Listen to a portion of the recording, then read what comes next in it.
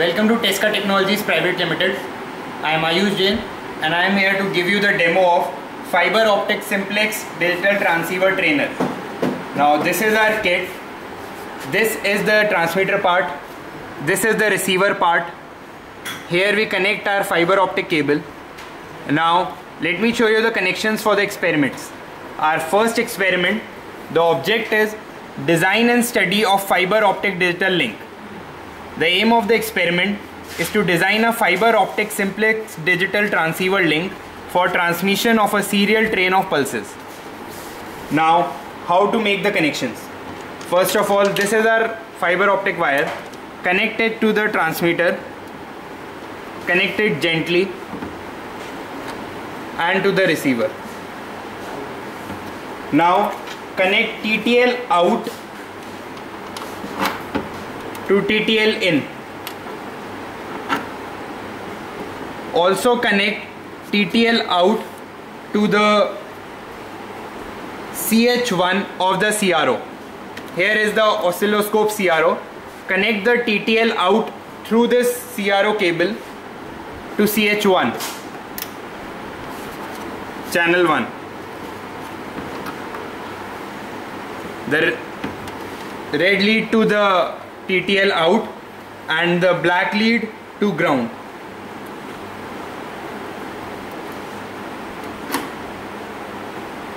Now set. Now also connect V out VOTTL out to the uh, this is the receiver part. Now connect V out VOTTL out to the channel 2 of the CRO through another CRO cable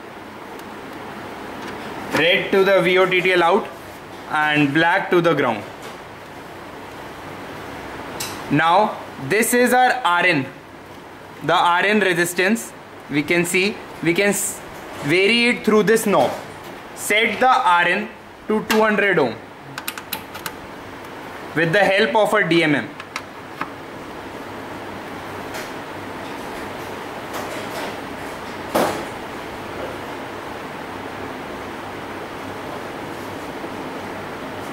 I have set Rn to 200 ohm respectively. Remove the DMM. Now turn on the system and the oscilloscope.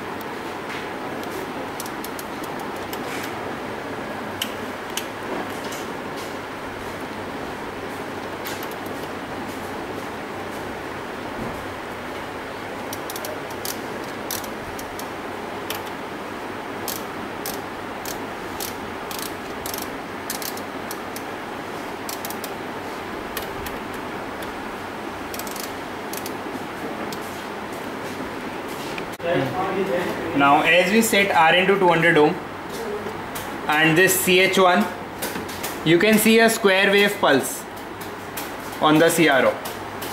Now connect the channel 2 channel 2 to VOTTL out. The same square pulse should be appeared at channel 2.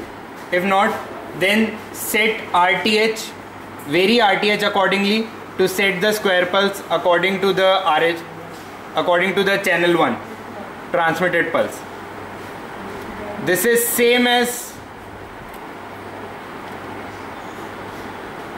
this is same as channel 1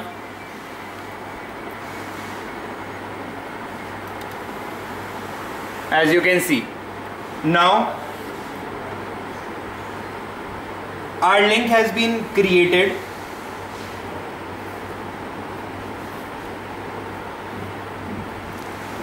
The amplitude and the shape of the waveform is same as the transmitted and the received. Now as we change the Rin the gain of the detector will vary. As Rn is decreased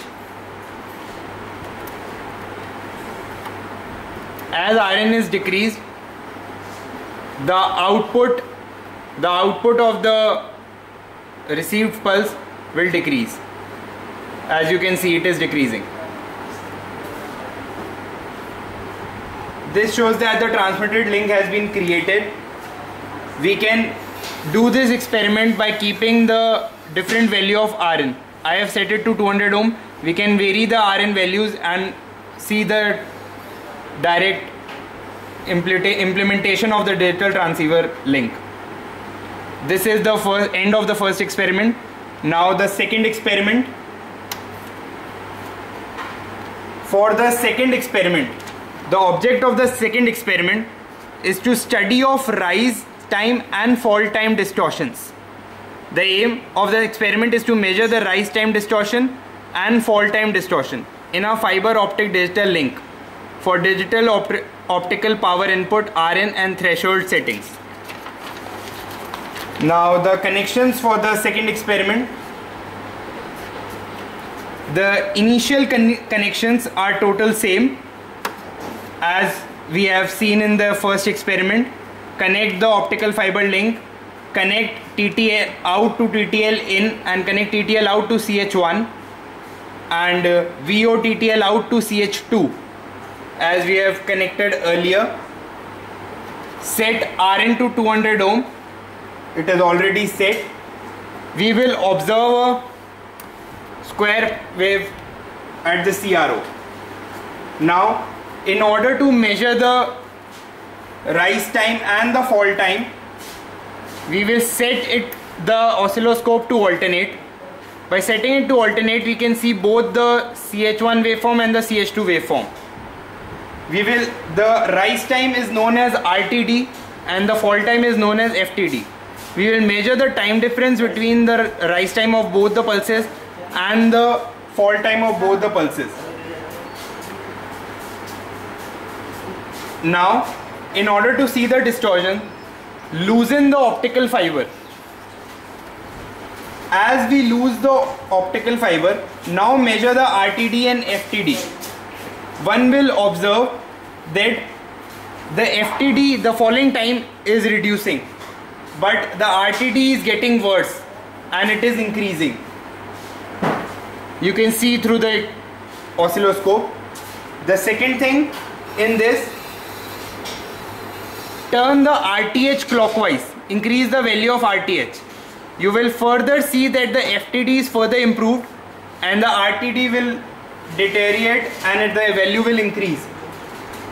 Now put Rn to a specified other value say 130 ohm and adjust the RTH to get the waveform. Now when we measure the RTD and FTD the FTD will further improve and the RTD will get worse by increasing. That's it. This is the second experiment.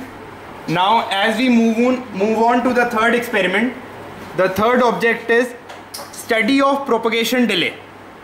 The aim of the experiment is to measure the propagation delay in a fiber optic simplex digital link for different optical power input Rn and threshold settings.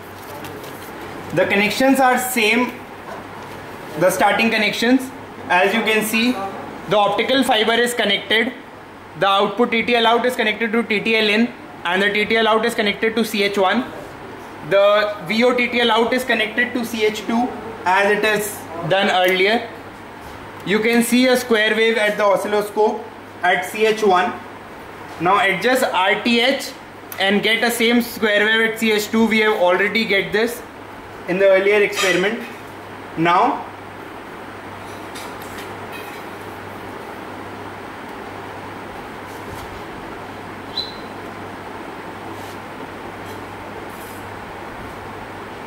Now when we measure the RTD and FTD, the time difference, the larger of the two is the propagation delay for the present settings of the optical power of RTH and RTH, RT in. Adjust RTH such that RTD and FTD are equal. As you can see they are approximately equal. In this setting, propagation delay is set optimally for the given Rn. Repeat this for various values of Rn and you can check the propagation delay. It should be optimally minimum. That's it. These are the three objects. For further information, please consult the lab manual. Thank you.